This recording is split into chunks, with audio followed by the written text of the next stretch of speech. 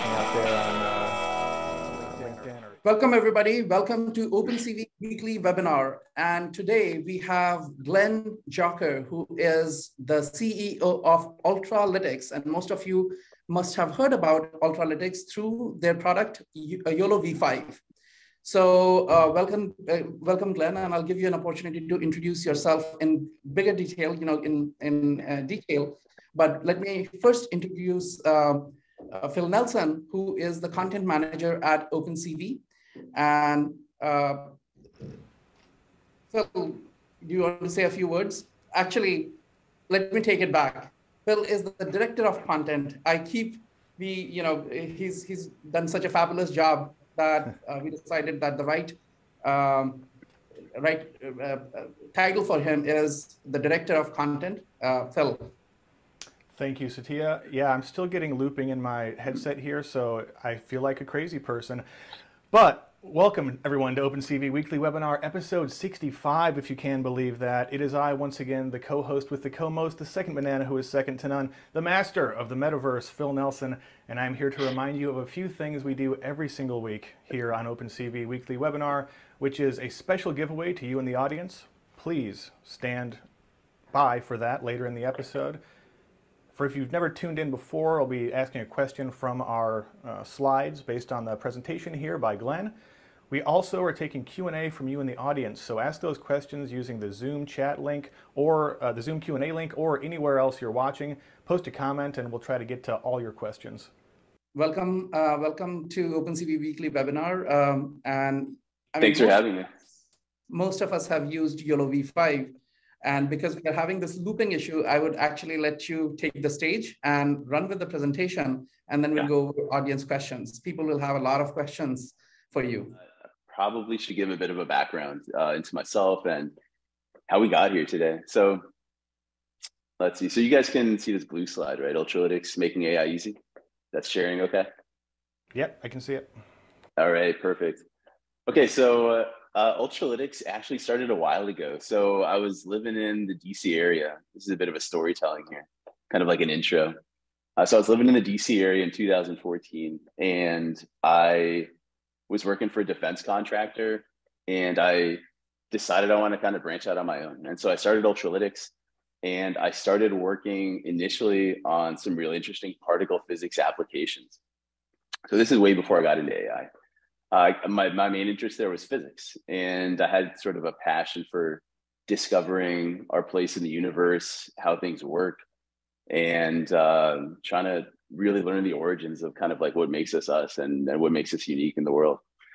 And so uh, I started working on two different programs, and they were particle physics applications for some spy agencies. Uh, these two agencies were the National and Geospatial Intelligence Agency and the Defense Intelligence Agency. And they were interested in, in anti-neutrino detectors. And so neutrinos are really fascinating particles. Uh, they do something called oscillating among three different flavors, which makes them very unique and also very confusing. And we were trying to learn a little more by studying them more closely. So we build these small detectors, collect neutrinos, and end up with a lot of data. And it was my job to analyze the data and so I did this for several years. And this is when I started doing data analysis techniques. And everything I did was not enough. All the classical techniques, statistical analysis, uh, Bayesian optimization, these sorts of things, just they weren't getting us where we needed to go. And I was looking for something that could help us improve on the data analysis side. And what we really needed to do was determine what we were seeing. So this is a classification problem. Was it a neutrino? Was it maybe like an electron, positron? And then if we did detect a neutrino, we wanted to know a few things about it, like the energy. Yeah. So okay. So ultimately, all my particle physics efforts crashed and burned. Uh, the detectors didn't work, and the data analysis didn't go anywhere. But this meant I had a lot of free time, and I developed an interest in AI. And this is about three years ago now. And uh, by coincidence, this is when uh, some of the coolest AI architectures were making their way out in publications like YOLO v3 by Joseph Redmon. And I took an interest in this paper, and I thought uh, I, I, saw a lot of potential in the technology, and I learned about what I liked and didn't like about working for the government. And part of what I didn't like was keeping everything secret. And so I started to open source my new work. And also, I wanted to create a real world product, right? Something that wasn't just working in a laboratory, something that we could take out into the world that would have an impact on everyday lives. And so I looked at YOLO, I looked at what Redmon was doing, and it was really impressive. And I thought I should try and understand what he did. Uh, unfortunately, he'd written everything in C, which I wasn't an expert in. Um, and I wanted to translate that into Python, which I was just getting started in, which was much more similar to the MATLAB that I'd used before. And so I started working in Python at the same time as I started doing AI, at the same time as I started open sourcing my work. And this is really just three years ago. Uh, so we've come a long way. But uh, when I started, I had no idea what I was doing. So my chief task in life at that point was simply to reproduce the YOLO v3 results in a much more appealing format, which is Python and PyTorch. Uh, I started working on those. I entered a competition and I did miserably but I learned a lot and I kept working, I kept working. And during the course of this, uh, something interesting happened. So, so Joseph's work had gotten really popular. Uh, he worked on it together with his advisor, Ali Farhadi. And during one conference that Joseph was presenting at, he even did TED Talks. And I think at the end of one of these TED Talks, uh, an Army general came up to him and he said he was very impressed by the technology. And he could see it really being used in drones on the battlefield. And this raised a lot of red flags in Joseph's head. He said, Oh, this isn't what I had pictured for this technology. You know, I don't want it to fall into the wrong hands. And he thought the best way to address those concerns would simply be to stop working on it, to kind of like recuse himself from the field. And so sort of famously so in the in the yeah. industry, it was big news. Yeah. Yeah, yeah. This is this is really like kind of like a monumental event. And uh, at that point, uh, Ali had started a company also uh, using AI. It was called Xnor.ai and he eventually sold that to Apple, I think for $200 million, and he's still at Apple. So when I arrived on the scene, uh, this happened shortly after, and the YOLO ship was sort of without a captain for the first time. So versions one, two, and three had been released, and it seemed like there were no more coming. Uh, so it took me about a year uh, to get up and running and to sort of reproduce the results that Joseph had. And this was a year of a lot of work. This is, you know, seven days a week, 12 hour days, running experiments. Uh, and just learning a lot, reading papers. And slowly but surely, you know, my results crept up and, and finally I could reproduce what he did. And then at that point, I wasn't sure what to do. And so I just kept doing what I'd already done, which was R&D, trying to improve the model, trying to improve the uh, augmentation techniques, the loss functions and things like that. And I kept working on it for a few more months. And at that point, I'd, uh, I'd have something that I'd call YOLO v3. So I had a repository called Ultralytics slash YOLO v3 and I'd show people the improvements that I'd made, and something funny would happen. They'd say, "Oh, Glenn, that's that's really impressive, but I think you did this wrong because that's not in the original paper." And I'd say, "Oh no, it is not in the original paper. That's the whole point. I'm trying to make it better." Uh, but I realized I had like a bit of a naming issue, and I thought, okay, maybe I should call this something different so that people don't get too confused so much. And so I worked on it some more, and I had this idea to release what I'd done and call it YOLO V4. And so I started collaborating with two key players in the space. Uh, one is Alexei AB, who was in Moscow at the time. I think he's since moved to Berlin. And the other was a developer in Taiwan who goes by the GitHub handle, I think Yang Yu. And we were kind of bouncing ideas back and forth and uh, working on improving YOLO together. And so about uh, two years ago, like in early 2020, uh, Lexi and I were shooting back ideas back and forth. And this is when I was working on my improvements. And I had stopped open sourcing those improvements. And I created a new repo, which I called V4, and I was about to release it when someday, one day I woke up and somebody sent me a message and they say, Glenn, have you seen the news? And I said, no, what? And they said, they said, Alexei has released the YOLO V4 uh, repository in the paper. And so I was really shocked. So it turns out we'd both been doing the same thing. Like Alexei had been working on some improvements in secret, and me too. He beat me to the punch and he released this architecture. and so I was really again, surprised. Coming back, coming around to play a big point in your life, a big part in your life. right, right, right. And so so again, there's this drama and controversy. People criticize the YOLO v4 paper a lot because Alexei was not directly connected to Joseph. Um, mm. But I, I, read the paper and uh, and I incorporated like what I saw as Alexei's key contributions into what I was doing. I worked a little bit more, and then a few months later, I thought, okay, I need to release this again. But now, what do I call this? Because Alexei got there first with the YOLO v4 name, and I decided just to increment it one more, call it YOLO and then even more controversy uh, came up on the scene, and people were again critical. And they said, they said these two guys are completely unconnected, and the speed with which we'd released it one after the other also brought a lot of controversy. People were joking around saying, by the you know this rate, by the end of the year, we're gonna have like YOLO 17. Uh, and so, at first I engaged with the criticism. I tried to explain to people that I was simply seeking to improve, but but it's kind of difficult uh, dealing with detractors. And so, at some point, I decided, okay, I'm just going to work on this and just let people say what they want to say. And so, I just kept my head down. I kept working on YOLO V5, kept improving it. And the important point is that it wasn't a static launch. So, uh, YOLO V5 has been out for like two years right now, and like every day, it's different than the previous day. Uh, it keeps improving in small but steady ways. And I think the important thing is the cumulative effort of all these weeks. And so periodically we have new releases now. Uh, we're on 6.1 and the, the 6.1 release of YOLO V5 is a completely different animal than the original one that launched two years ago.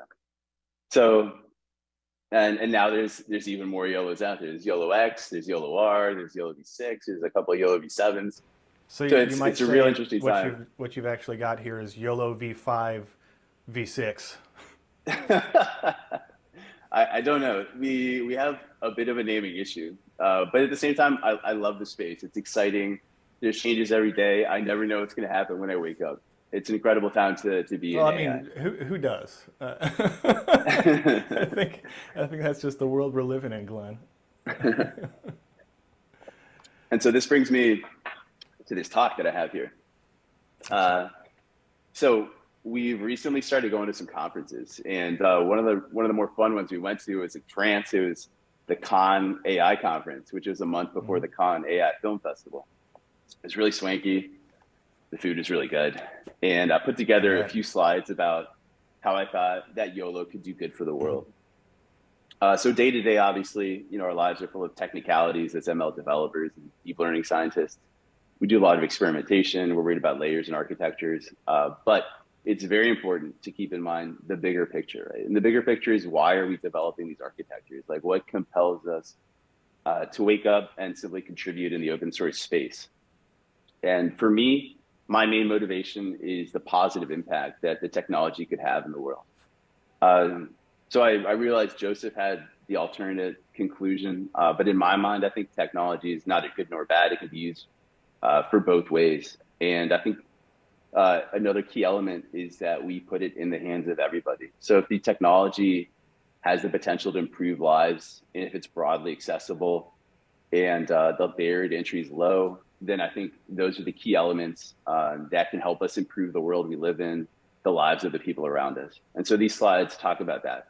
That's a that's a great way to think about it, and this I think this mirrors really closely a lot of what OpenCV has been doing with, say, OpenCV AI Kit, for example. Mm-hmm, mm-hmm. Right. OpenCV has been a key part of the YOLO v5 repository. We use it by default in our data loaders, and a lot of what I've done to date wouldn't have been possible without it. Uh, so I have to give a big thanks to the entire OpenCV team also. Yeah, big thanks to the engineering side uh, mm-hmm. for sure. Okay, so, whew. all right. So the world we live in, uh, every year it seems like we're dealing with uh, more problems, and uh, the, the first and foremost here is is global warming, which affects all of it. So I'm here in Madrid, in Spain, and we have about 41, 42 degrees Celsius days for the foreseeable future here. And I'm not even sure if it's a heat wave or just the new normal. So 2020 was the warmest year ever on record, uh, and due to global warming, uh, up to 200 species are going extinct every day across the planet. And of course, these are man-made changes that are caused by uh, airborne pollutants, CO2. So every year, 25% uh, of deaths are directly attributable to air pollution and 10 million tons of plastic into the world's oceans. Uh, so this is plastic that doesn't biodegrade, that lives in our ecosystems for a long, long time. It's not uh, another problem. What we're learning a lot about re- these days too, microplastics, which are showing right, up right. in, in human yeah. bloodstreams in human beings, yeah, concentrations, yeah, yeah. yeah.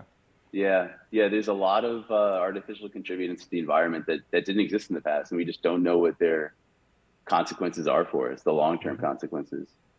So uh, I'm Spanish and American. My mom is from Spain. My dad's from New York. Uh, in Spain, there's universal health care, uh, but in the U.S., there isn't. In the U.S., healthcare is something that you have to pay a lot of money for sometimes. Uh, so here we see that 50% of the world's population lacks access to essential healthcare services, and even in countries where they have access, sometimes the price points put it out of reach, like in the US.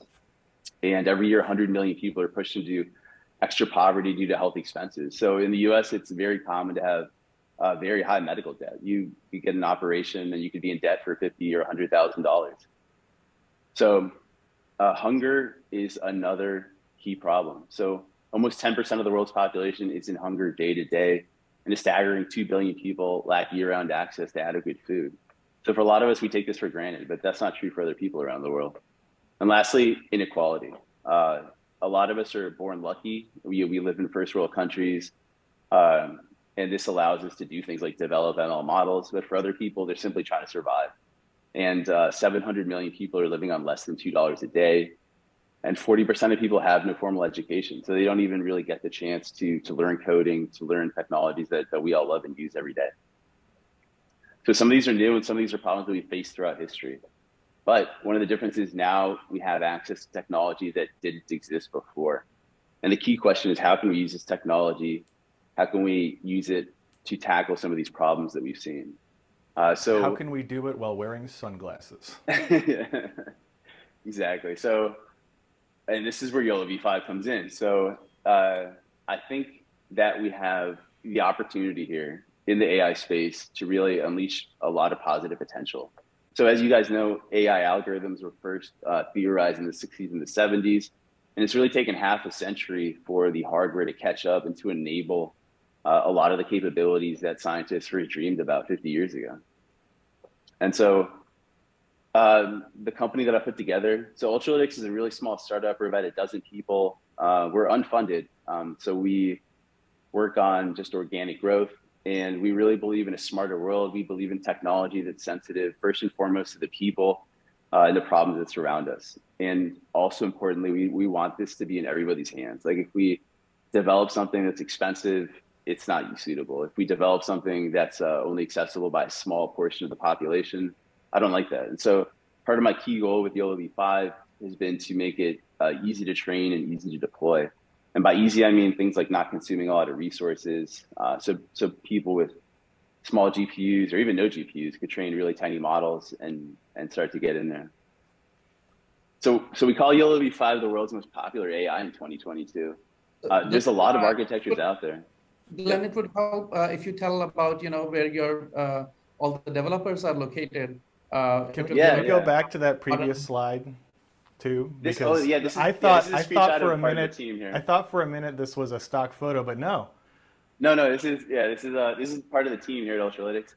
Um, so Ultralytics, even though we're a dozen people, the ML developers until a month ago was just me.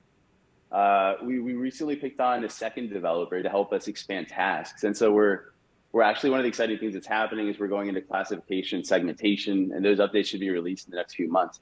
But the, the people we see here, we have uh, mobile developers, web developers, and marketing people. And the mobile and web developers are for like an exciting new product that we're launching that's making it easier for people to train and deploy YOLO models. And we're starting it with a free tier also, just like YOLO. So, uh, so it's really important awesome. to me to put tools out there in the space and make it for free as much as possible. But yeah, so this is uh, this is like part of the core team here at Ultra. I forgot to mention that. Yeah, I'm, I'm kind of here hidden behind this guy, John. And then we have Kaylin next to me, who's our lead web developer. We've got Talia, who's our marketing lead. Uh, she's been creating amazing content to help people show what we do. And then we've got Sergio next to Talia, and Sergio is our main mobile developer. And he's helping make our app. And this is one of the things that, that I love about us that differentiates us. When I showed up two or three years ago, all the models were out there, but I had no idea what they looked like or what they did. And I really wanted to just put it in my hand and use it and point it around and, and that way see what it did. And so I made our first app and I have no idea how I did that because I don't know Swift. I, I don't know anything about app development. Somehow I, I, got it done. It was a terrible journey. And after that, I decided no more. I need to bring on an actual mobile developer. And that's when we, that's when we got Sergio and he was the second employee number two here. that's I so, think that's how a lot of like most of the good companies grow that way. The the founders are like, I hate doing this. Can we pay someone? I think yeah, I was like, I was thinking uh, I need standard. to stick to what I'm good at. Yeah, making yeah. apps is not that. So, all right. So, oh, and by the way, speaking of apps, like if you guys haven't seen YOLO apps yet, so we have an official app. It's called Ultralytics. Uh, my original app is called iDetection. But if you go to any of the Apple Apple App Store, Google Play Store, you just search for YOLO V5, search for Ultralytics. I'm sure these will rise to the top, and then you can actually see the different models. We show the different models. You can switch between them, point it around the room, and have fun, kind of like learn cool and see what that, this will do. That kind of real time feedback is really important. That our, our guests uh, last week were mm-hmm. Anna and Vadim from uh, Modelplace, and I think that shares a similar goal here uh, to your to your app. Like you were saying, you wanted to be able to see what they actually looked like on, on your real data, and uh, yeah, you know that yeah. that oh man, my camera just dropped out. Uh, that uh, you know happens um, when people can see their own data on there. It's much easier for them to understand how it really works. Yeah, absolutely, and and I think a lot of these things that I did is, I think they're due to the fact that I came in from the outside. Uh, so I, I wasn't, I, I, never learned ML in school. I never learned AI. I didn't take any classes, and uh, when I came in, I had a lot of questions, and I I wanted some kind of like real world answers. And I think I think part of uh, what we have here is is that, and I think that's that's partly what resonates with the community. I think people come in to AI because they see the hype and they want to they want a piece of it. They want to learn. They get excited. And for me, uh, like seeing something like in my hand was just I don't know. It sounds a little cavemanish, but it's it's what made me happy. And so that's why that's why I made the app. And I think that's why I put it front and center on the repository to show people that they can actually use it. Versus like if you go to another architecture, sometimes there's papers which are impressive. There's research and equations, um, but translating that into the real world for me is, is not always clear. So yeah, uh, let's see here. So have uh, an app uh, that people can uh, use, and if the source code is also available, then people can. It's a starting point. It actually mm-hmm. eliminates mm-hmm. most of the big uh, problems people have. You know, it's uh, mm-hmm. it's starting, which is the bigger problem, right? Once you once you get something going, uh, everything else becomes very easy. So if you get starter code, and Glenn, I'm sure that when you started, you obviously used a lot of code from that other people had shared. So it's it's great that you're sharing all this open source code. Oh no, absolutely, guys. Um, uh, for example, when uh, when Newton was uh, was getting credit for having discovered gravity, he said, "If I can see further than others, it's because I've stood in the shoulders of giants." And that's true for all of us. Like none of us start from zero. None of us can really take like full credit for what we deliver. Uh, we we never want to reinvent the wheel to save time. And in doing so, you should always try and find the best starting point, the best approximation to what you like. Uh, start from there and and and take it to where you think it should go. And and I've done the same thing. You know, I I can't take credit for for YOLO or a lot of things. Um, all I've really done here is take what Joseph and Ali invented uh, and try and make it like a little better and a little more usable. So so we always deserve credit. Uh, we should assign credit to everybody that came before us here. Uh, let's see here. So, okay, so now that we've got YOLO here, like what are some things that we can do with it? What can we do besides simply taking the app and showing it around the room and showing your friends, which is fun, but how do we actually, how do we actually make an impact on the world? How do we make the world a better place? So, um, and a lot of what I'm showing here, none of this is is direct work of mine or Ultralytics. This is these are use cases that we've spotted around the community that I think are really exciting that we'd like to let people know about. And so one of these is cancer detection. So we've seen publications by different research groups, peer-reviewed publications in journals like IEEE, uh, showing like just tremendous potential for uh, medical possibilities. And so one of these is cancer detection. Uh, so in the US, for example, we've got doctors that are really expensive. You get an x-ray and you need a guy to review it. And it's gonna charge you a lot of money. And uh, if we can automate that process, then we can expand healthcare to segments that uh, don't have the money to pay for it. Not only that, but there's more benefits. You can get faster responses, um, and I think I think it's just uh, this is really incredible. And this is also just like initial research that we've seen. So here we see 97% cancer detection rates. And cancer is just one thing, obviously. Uh, like X-rays can pick up a lot of other things, but there's also very many visual fields. Like when you go to the eye doctor uh, in the U.S. every year, if you have an eye prescription, you need to get renewed. And if we could automate that process, uh, perhaps we could make it more economical, more affordable, and so on. So we talked about plastic in the oceans, which is a tremendous problem. There's a student group uh, outside of Washington, D.C., who trained YOLO V5 on plastic bags in the ocean. They trained a really small model, and it's it's working about 90% uh, precision. And the idea is that they're going to put this on a submersible with a robotic arm, which is the next step to actually fish out these bags from the ocean and actually start reversing uh, the pollution, the contamination. I think this is incredible. So these are these are steps that could be taken to actually not just help the world, but kind of start reversing the damage that we've done to it. Uh, okay, so wildfires are are a very serious problem. Um, part of the problem with the wildfires is that they get started and nobody sees them in the initial stages. And so we have different research groups that are working on targeting different areas of the problem here. Uh, so one of these is wildfire detection for uh, for smoke and also for the flames themselves. And this could be for stationary cameras uh, or drone cameras. And the idea would be to detect these earlier and get first responders to tackle them faster. And this is, this is a very serious issue. Um, we've got two offices in Los Angeles and in Madrid. Uh, in Portugal right now, right next to us, there's there's a huge wildfire going on. And uh, last year when I was in Los Angeles, the entire city was unbreathable. It was COVID, so we were we were wearing masks. Um, and if it wasn't COVID, I think we'd have still been wearing masks because uh, like the visibility was like 100 meters, and uh, all of this was just from smoke in the air from wildfires in the state.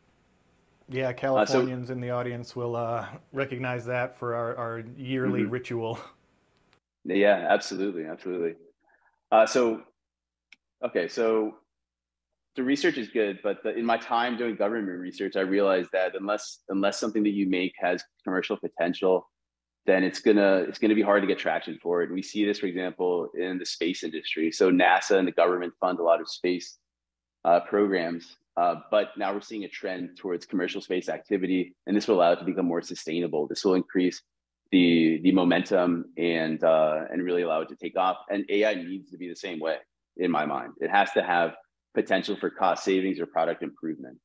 And so one of the most exciting things that happened to us was last year Procter and Gamble came to us. So since Ultralytics is so small, we have no sales team. Um, we don't we don't call any people. We don't try and sell them on YOLO or anything like that. But we get a lot of emails coming in, a lot of calls. And one of them was from the chief scientist at Procter and Gamble, Steve Varga, uh, from their office in Cincinnati. And Steve had a problem. He said that the vision systems that they use for flaw detection on their assembly lines, uh, they're supposed to detect default or flawed products and throw them away. And he said sometimes they make a mistake and they throw away a good product. And he said this is costing the company a lot of money every year. And he he wanted to experiment with YOLO V5. And so he had a few questions. We worked with them. And at the end of this POC, uh, Procter and Gamble, they were so impressed with the result on this one assembly line that they experimented with that they they did a, few, they did a bit of number crunching back of the envelope calculation. They said if they extrapolated this to the entire uh, organization, all of their factories, they could save up to five hundred million dollars a year.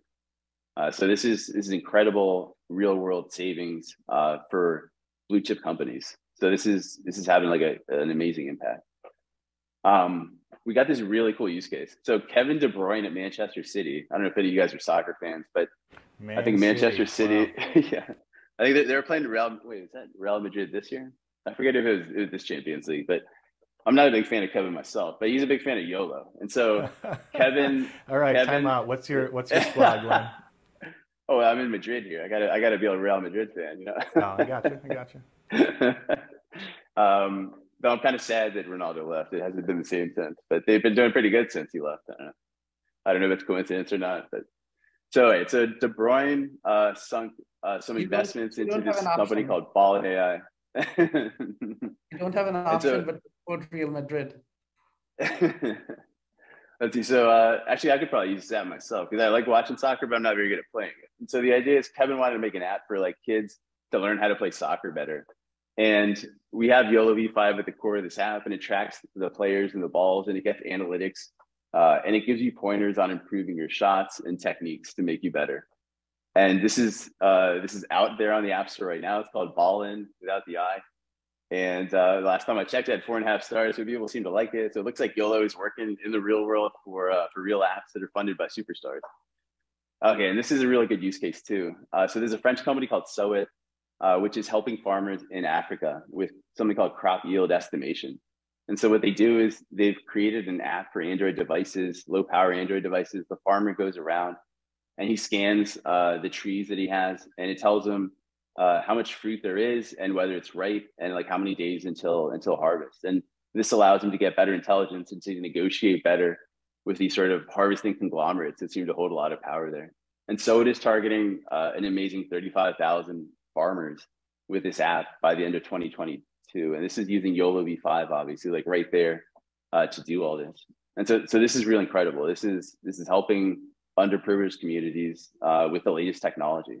So we're putting like yeah, some of the amazing. most advanced AI mm-hmm. into some of the low, lowest power mobile devices and, and putting those into the hands of like some of the, the poorest people in the world. So this is really like uh, something that I feel really good about.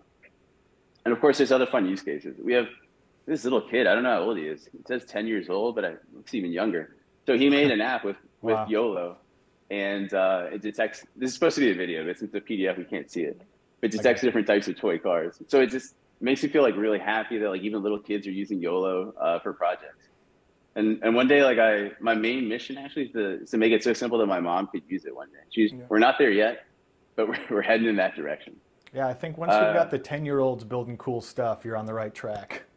yeah, yeah, just yeah. I'm not sure if there's any ten year olds raising GitHub issues, but uh, but I'm on there like every day answering. At least I hope not. If there are, then I'm I'm talking to them so, uh, so we've got a few numbers here. This is actually out of date by like a few months, um, but we picked up a lot of stars. We got a lot of users, and and the repo is just like super popular. If we compare it to like some of the other players out there, so I like I like big player comparisons because I see this as a bit of a David and Goliath contest because we've done so much with so little. Uh, like when I when I showed up on the scene, like Facebook Detectron was kind of like the elephant in the room, and we passed mm. them last year. Uh, and I think it's just because we've been trying to make it just really simple and really easy. And I've got a few slides here about our upcoming product. So we have something called Ultralytics Hub, and this is what most of the team is working on.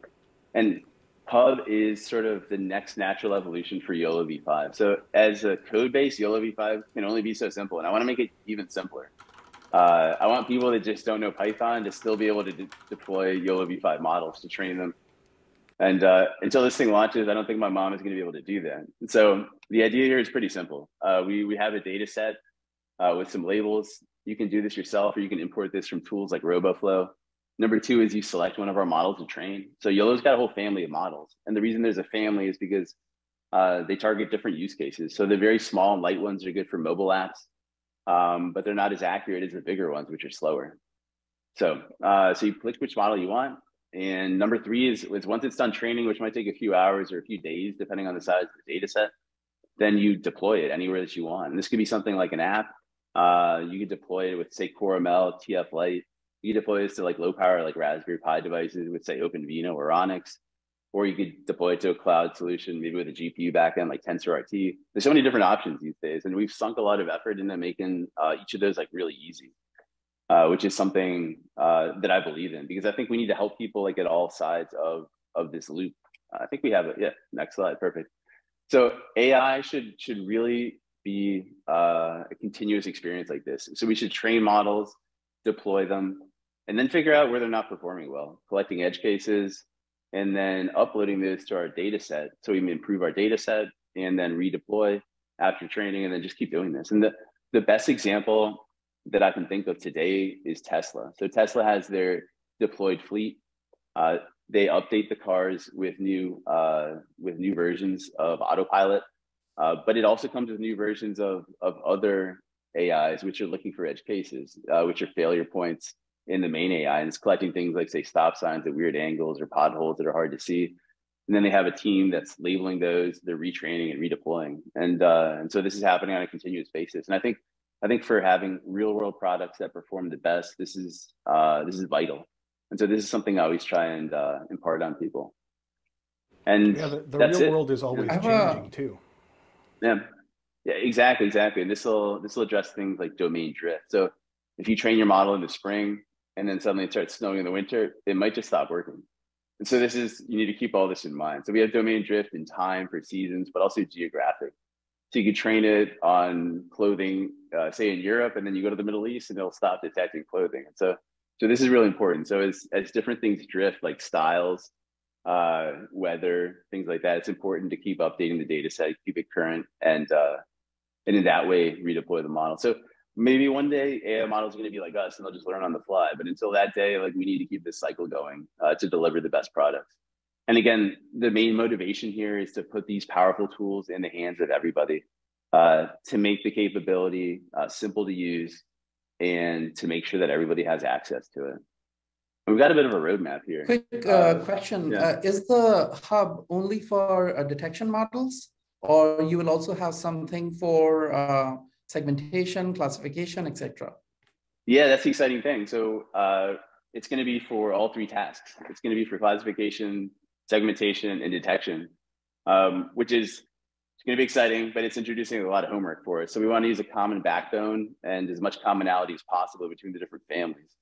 And so we are working on these efforts right now. We're training on ImageNet to uh, to develop the hyperparameters that we want for classification, and hopefully this will launch in the next few months here. So um, we've really only got two products here. We've got YOLO, we've got Hub down here. And so this slide is a few months old. Uh, so we have uh, essentially YOLO is just uh, continuous AI R&D forever. So we never want to stop this. We always want to keep putting the best tools out there. We want to learn from other competitors out in the field, uh, from the big companies, the small companies, and just individual contributors. And we sort of want to cherry pick the best elements from everybody and fold them back into future versions of YOLO. And for Hub, we have a free version, which is uh, it's in beta right now, and it's going to launch, I think, in September. And then we have a pro version with some extra goodies uh, at a small price point and a small monthly point. And then for big companies like Procter and Gamble, we want an enterprise solution. And we're supposed to launch that at the end of this year. And hopefully, this will allow us to uh, to get more revenue and just keep feeding back into this virtual cycle. So that's it. I'd like to leave you with uh, just this idea. You know, I think uh, everyone here, I think, should try and uh, also think about what potential they have to improve the lives of the people around them. I think if we all think like this and we put our minds together, I think we can accomplish a lot. So, so thanks for your time. Thanks for listening. And uh, if you have any questions, I guess, let me know. Wow, great, uh, great presentation here. I, I, love your, your ending there. I would like to make sure that everybody knows we mean change the world for the better. change the world for the better. Uh, it's been a rough couple of years, and so I just want to make sure that everybody knows that that's the case. Um, yeah, thanks. Thanks so much, Glenn. Uh, I guess let's do our let's do our trivia giveaway here. Um, if in case this is your first time joining us, or if you just need a reminder, one of the things we do every single week here on OpenCV Weekly Webinar is a giveaway to you in the audience. One lucky winner in the Zoom chat will win the OpenCV course of their choosing. In order to win, you'll have to answer a question which I'm about to ask you in the Zoom chat. If you're not in Zoom, there's still time to get in there. Go to opencv.live and hop in the Zoom chat. You've got about five seconds. Um, so. And just so, I mean, I don't know how many people know about uh, OpenCV courses. OpenCV has a series of five courses, OpenCV for beginners, OpenCV um, uh, Computer Vision 1, which is the introductory course in computer vision, computer vision 2, which is all about applications. And we also have deep learning with PyTorch and deep learning with TensorFlow. So as you know that YOLO V5 is based off of uh, PyTorch. So, you know, people who may be interested in both may want the deep learning with PyTorch course.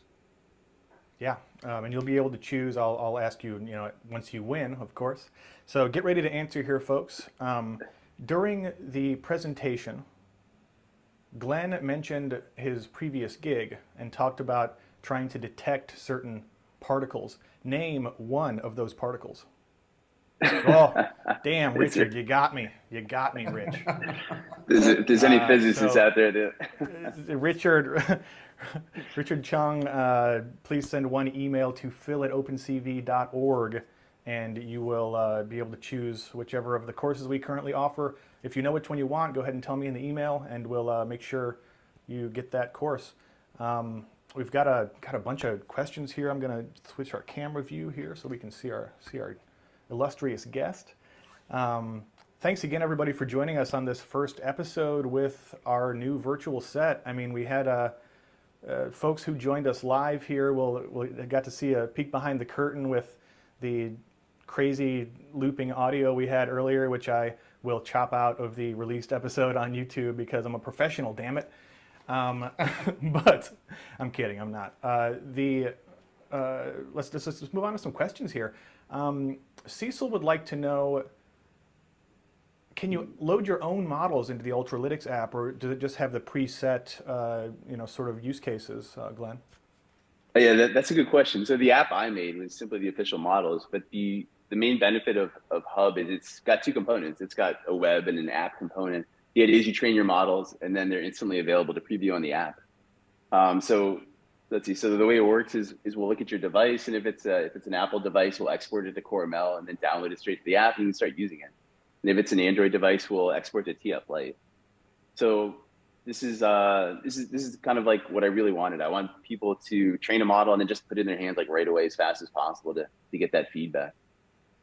Yeah, uh, that's that's awesome. Um, um, we, we also uh, another question from the audience. Beth on LinkedIn would like to know: Does the cat have a name? Um, you've noticed our, our little buddy under the desk here. Um, the cat does not currently have a name. If you uh, have suggestions for what to name the cat, please send those to newsletter at opencv.org and uh, maybe we'll pick one of your names or just come up with a totally different one. No promises. Let's see. Uh, Richard would like to know is uh, our, our, trivia winner. Richard would like to know is the latest YOLO v5 supported and optimized for OpenCV AI kits such as OAK-D? Mm, that's a good question. Uh, we have export to ONNX and OpenVINO. And I know for ONNX exports, these are compatible with like CV2 DNN inference. Uh, so they should be directly uh, loadable. Uh, OpenVINO is uh, what you're looking for. Uh, so Glenn, mm -hmm. if it, if it works on OpenVINO, uh, the size, you can easily use one of the, so there are five different sizes for YOLO V5. And mm -hmm. if you use the right size model, the OpenVINO version of it, then it will work on OpenCV AI kit. Okay, awesome. Excellent. Um, yeah, big shout out to our, our friends and uh, occasional co-conspirators and collaborators at OpenVINO. Um, hopefully we'll be doing something with them uh, soon uh, again. Mm. Um, in addition to, they were one of our, they were the main sponsor behind uh, OpenCV AI Game Show, which we are still planning to do more of, uh, hint, hint. Um, oh, wow, okay. So uh, Andre would like to know, YOLO V7 was just released. Um, how have you gotten a chance to try it out? And does it how does it compare with uh, your current uh, version six of YOLO V5, Glenn? Yeah, it's a good question. Um, so I, I saw the V7 had been released by Alexey and company, uh, WongKinYiu, and mm-hmm. I haven't had a chance to thoroughly review it, but initially it looks like an interesting contribution. And I, you know, I'm excited anytime that uh, someone else comes out with advances in the field. I think um, to really get to the next step to really make these models perform well, we don't just want to put it in everybody's hands, but they also need to be performant in real world situations. And everybody that's doing research in the field is contributing greatly to this, especially in the in the open source space. I think those are the two most important things. And so I think Alexey is making uh, significant contributions, and uh, I appreciate what he's doing. That's cool. It's it's great that there's no, you know, a lot of times you get these weird tech feuds with people, and it doesn't seem like that's mm. the case here. And so that's, you know, that's that's great. Um, well, well, one, one suggestion bit, yeah, I have, so, uh, two suggestions yeah. actually. Uh, the first thing is that you know you should get uh, the next version you come up with. It probably just name it not a version but something else. That way you will have your mm-hmm. own YOLO that people and people don't get this. Uh, you know, it's a it's an uh, yeah. numeric race right now. I have the biggest yes. number. yeah, yeah. yeah. Why I not just yeah. call it YOLO a billion? Like you know. Yeah, yeah. I think. Well, you can uh, you know you can call it YOLO infinity, which will also look like YOLO eight if you turn it around. That's not a bad idea. That's pretty funny. nobody, YOLO, nobody's going to release infinity. any version higher than infinity. That's right. Well, yeah. no, then it'll just be infinity plus one. Obviously, you guys were kids once. Come on. um, yeah, let's see what else we got here. Um, so how uh, we, we uh, one of our one of our frequent uh, another frequent collaborator and an OpenCV member um, is RoboFlow. And a couple mm-hmm. folks in the audience would like to know, uh, Glenn, how do you compare, how would you, you would compare the services RoboFlow and Ultralytics? Oh yeah, that's a good question. Yeah, so I'm I'm really good friends with RoboFlow too. I talked to Joseph Nelson there a it's lot. It's hard not to be. And, damn that guy for being so personable. Yeah. yeah, yeah, exactly. Yeah. Um, so see, so when I started, uh, actually when they started, also like two years ago, RoboFlow was uh, more of like a wrapper to train models, and so they did a good job of like helping you train different types of models. And I think more recently they've seen value on the data set side and they put a lot more emphasis there. And so I think we, we partner perfectly. Uh, we want people to be able to select a RoboFlow data set directly and just train on it at Ultralytics Hub. And I think uh, the synergy there will be really powerful. Um, I think also even for the open source YOLO V5, I think RoboFlow is a tremendous asset. It helps you label your data. uh, and they can export directly to YOLO v5 from there, and also directly to uh, Ultralytics Hub in the future. So I think it's uh, it's good to like my main goal is to just make this whole easier, and so I want to partner with companies that provide uh, things that we don't at the moment. So, for example, Ultralytics doesn't do data sets, and so um, but we do want to help people find data and annotate it. And so for that reason, you know, we typically point them to partners that uh, work well, like RoboFlow. Cool. Yeah. Again, all of you know, this it's, it's actually, nice. Go ahead, Steve. So in all of this, you know, we, we uh, often think about these uh, different services are as competitors, but I like to think of them as options, right? People have different options. People like different flavors. You know, somebody somebody may like one flavor more than the other, and having these options is a great thing. First of all, and second thing is that this AI pie is going growing so big. You know, that you just need a small slice of the pie to have a very profitable operation. And mm-hmm. you should not worry about oh you know a lot of people think that oh this is a fixed pie right? And mm-hmm. i need to have a bigger slice of the pie. I need to have a bigger market share and things like that. And uh, i personally feel that, that those uh, that's not the right way to think about it we should be focusing on making the pie bigger and once you make the pie bigger even if you have a reasonable slice you're satisfied and you have a profitable business you don't need to you know uh, take the market over, right? There is space for everybody, and uh, there are uh, various options available, right, uh, so for people to try out. We don't want a monopoly of anything. We want different options for people. That's yeah, right, Satya. I think a, a, rising tide lifts all boats. Yeah. yeah. Uh, that's a good good way to put it, Glenn. I, and and yeah, the the, I mean, even if you love pie, you can only eat so much pie. There's only so much pie. Um, and I, you know that that metaphor is a good one. That you know, not not every flavor is for everybody. We talk about this in one of my favorite um, entertainment mediums of pro professional wrestling. Uh, there's a lot of flavors of ice cream out there, not because all the flavors that existed were bad, but because people like different flavors of stuff. Um, not every flavor has to be for everybody.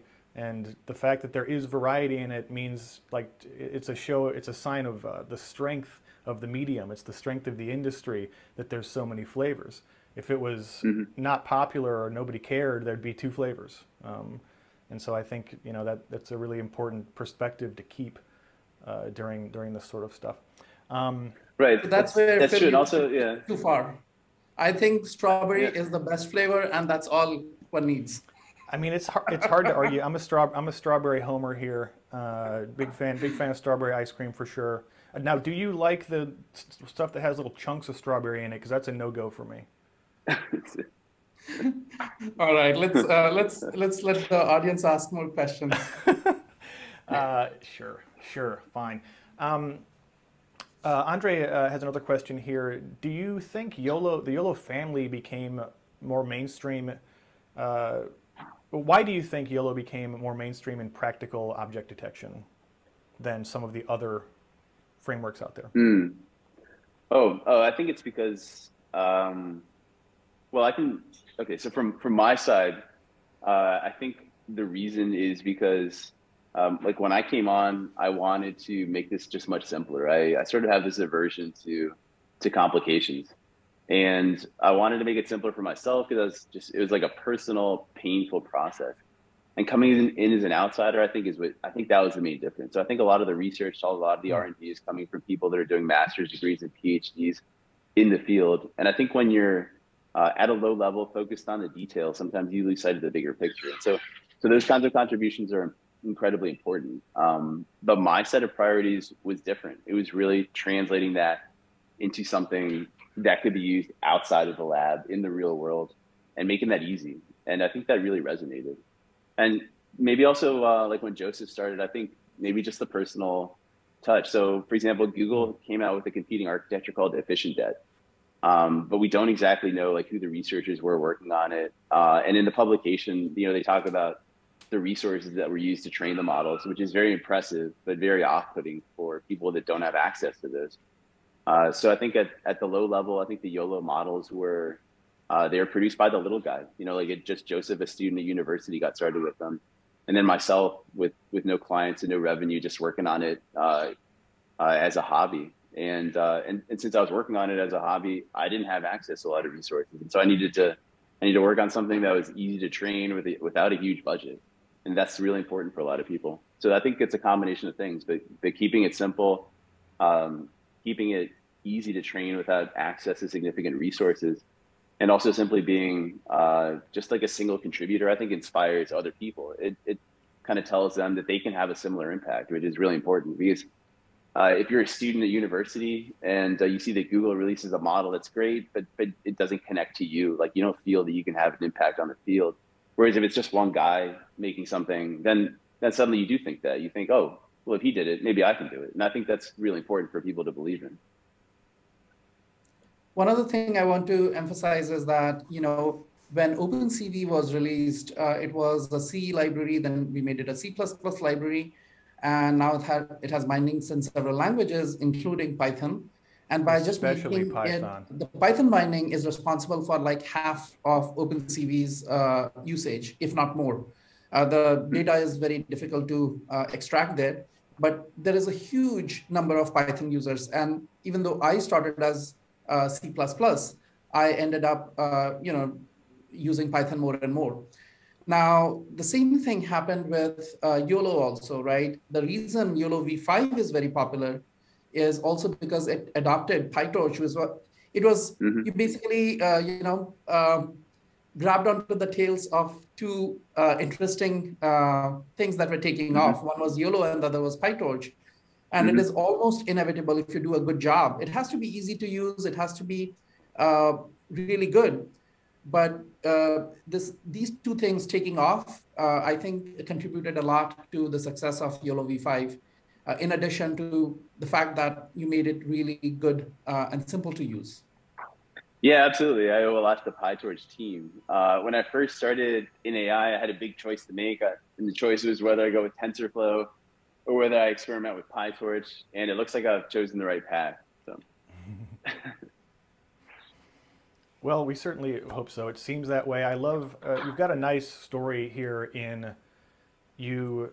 Uh, you talked a little bit about this when you were first starting out, but basically you solved your own problems and now you're using the result of that to help other people solve their own problems, which I think is a really cool way to kind of wrap it up and put a bow on the episode here. Um, we're, we're getting very nearly, we're getting very near the end. Um, Satya, would you like to uh, take us home before I uh, hit the credits music? Well, I uh, before we end this, I want to thank Vikas Reddy from mm-hmm. Uh, which this com- the company has made uh, this studio possible, and we have closely worked with them. Uh, they did the whole team did a great job. I don't know whether we can stream Vikas's audio, but if we can, I don't know. Yeah, okay. go ahead. Hi, say hi, hi, hi Hey, yeah, I'll stop my video. or yeah, I can I can do both. Yeah, uh, yeah, appreciate that, guys. Um, yeah, it's been uh, yeah, and sorry for the audio issues earlier. I was just gonna be the uh, silent uh, uh, audio tech support here. Um, but um, yeah, no, it's uh, it's been it's been awesome working with you guys. I really appreciate uh, Glenn you being the the first guinea pig here to uh, to try this out. And uh, yeah, thanks for thanks for iterating closely with us. We're excited to come back uh, even better uh, next week. Yeah, for sure. And uh, before, so one, uh, another quick thing before we uh, switch out here, I'm going to go ahead and hit uh, this button, which should give everybody a nice look at our, as of yet, unnamed cat friend. Um, please feel free to suggest the cat names cam. for the cat. Yeah, cat cam is up. Um, yeah. Newsletter at opencv.org. Please send in your suggestions. Um, yeah, Satya, you want to you want to take us home? All right. Thank you, guys. Uh, thank you, Vikas. Thank you, Glenn. Uh, it was a great presentation, and I'm so happy that you put together, you know, not just the technical part, but also how uh, we have to create responsible AI, and uh, you know, the various examples you gave. It is very inspirational for all our uh, audience. And Phil, thank you for putting the show together. Uh, I know you worked with Vikas on putting this whole studio together. Thank you so much. And last but not the least, our audience, thank you guys. It makes our day whenever uh, we see a lot of people joining in and getting value from uh, from the show. And it keeps us uh, motivated. So that's it. Uh, see you next week. Thank you, Satya. Thank you. Bye, guys. Right. We would Bye, not guys. do this show if you didn't watch. Take care of yourselves out there. Take care of somebody else. Please enjoy this outro uh, and music by the Monster Association. Yeah, so they should people should can still hear us talk over the credits, so uh, we can you know. Uh, th- yeah, seriously, thanks everybody. This was uh, this was really it's pretty fun. Yeah, But great, I like good, that. good early viewership numbers here. This is one of our most popular episodes this year. Oh, awesome! Glad to hear it. Yeah, thanks so much, everybody. Um, Thank you guys. we guys. will, uh, yeah, we'll we'll uh, see you next time. Um, same bat time, same bat channel, 9 a.m. Pacific every Thursday. Thanks so much for watching this episode of the webinar. Please hit that like button, subscribe, and don't forget to tap the little bell icon to be notified when new episodes drop. This week's episode was brought to you by OpenCV Courses. Learn computer vision and AI from the best at opencv.org/courses. If you'd like to be in the audience next week, subscribe to the OpenCV newsletter. Where did you put us, Phil? And because I mean, because uh, you may not be I'm not. I'm not actually sure what happened when I woke up. We were here.